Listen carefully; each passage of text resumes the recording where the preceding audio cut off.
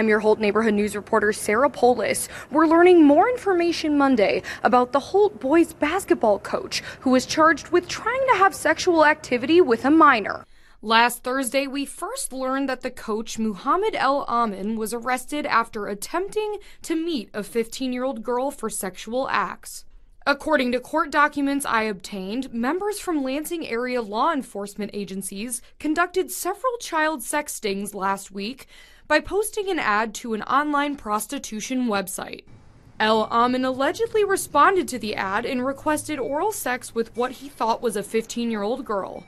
He allegedly agreed to pay $50 cash and a pack of White Claw alcoholic beverages. Court documents say officers observed El Amin arrive at the agreed time and location.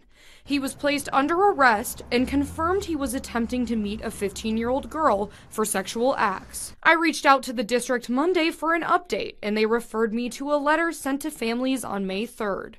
In the letter, Superintendent Dr. David Hornak said Coach El Amin is currently on administration leave, and the district said in the letter, quote, At this point, we do not have any information to believe this matter involved district students or occurred on district property. El Amin was charged with four counts of crimes, including sexually abusive activity and accosting a child for immoral purposes. El Amin is scheduled to be in court May 17th for a probable cause hearing and May 24th for a preliminary hearing. In Holt, I'm Sarah Polis, Fox 47 News.